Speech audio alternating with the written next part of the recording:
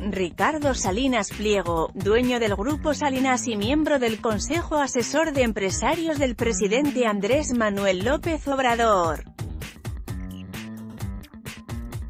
abrirá 2.000 espacios en sus empresas para participar en el programa Jóvenes Construyendo el Futuro, confirmó Luisa María Alcalde.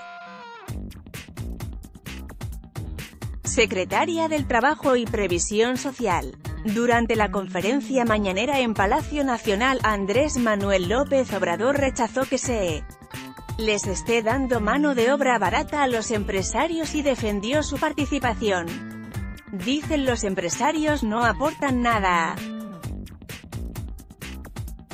Es les están pagándolo a sueldos de los trabajadores sí aportan mucho, su enseñanza, el que le dediquen tiempo a los jóvenes son como maestros La secretaria del Trabajo informó que contratarán a 53.333 jóvenes en los 91 municipios donde se dedican al robo de combustibles e invertirán 191.998.800 pesos.